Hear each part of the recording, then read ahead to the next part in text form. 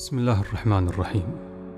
من الأدعية الجميلة التي استوقفتني وهي تنسب لأحد كبار الأولياء ويقال ممن جربوا هذا الدعاء صباحا أن فيه فتحا لباب الرزق والدعاء فن وذوق وإحساس. كم من مرة دعونا الله تعالى بأدعية خرجت من قلبنا وتمنينا أن نكتبها.